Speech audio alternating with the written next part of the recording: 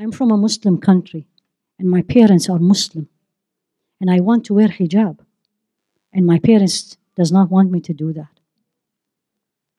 Subhanallah, this is a real phenomena. This is real. This is not a one case. You hear it every now and then.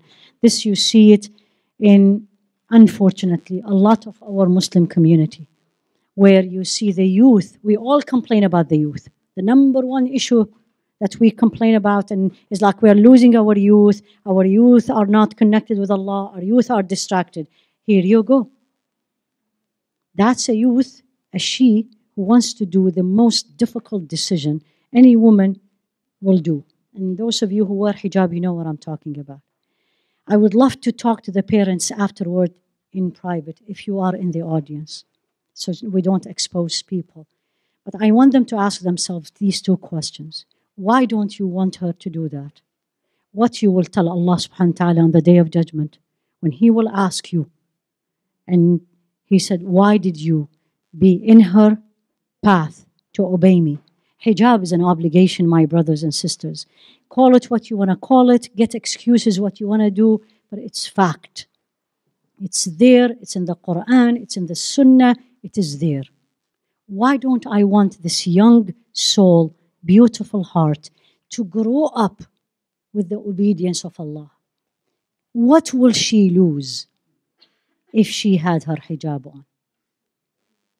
When are we going to be moving past this feeling that if I am a practicing Muslim, then I am not be able to achieve. And if I can ask anyone in this room, especially the sisters, I can, some I know you very well. Those of you who don't know me, I'm a practicing obstetrician and gynecologist.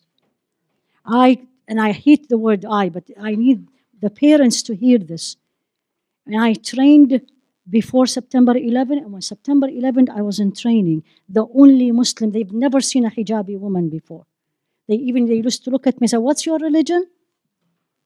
Right? Honesty. Are you a nun? Exactly.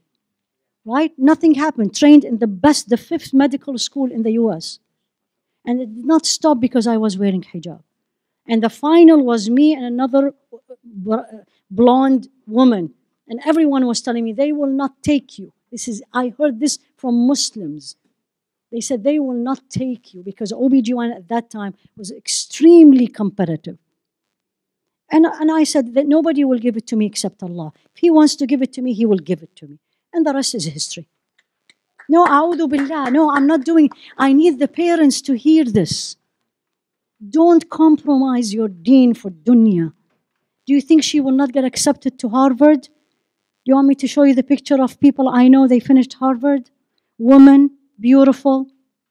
Even in the Biden administration, there is a woman who wears hijab and a proper full hijab. Some of you may have seen it, seen her. She's from uh, originally from Pakistan. What is the issue? Why not? Why do I allow my daughter, and I'm speaking, you can feel me with a lot of passion and sadness. Why do I allow my daughters to be on the beach and to be in the clubs, and I have no problem with that. And then when this young heart wants to obey Allah, you come to parents and say no. And I will say this last word because I don't want to take the and I say you better have a very good answer to Allah subhanahu wa ta'ala. When you are standing in front of him and he will ask you, وَكُلُّهُمْ آتِيهِ يَوْمَ الْقِيَامَةِ فَرْدًا Everyone will come to Allah as an individual. So please say yes and help her and I will give my phone number to this girl and to keep her strong. And I will say to her, do it.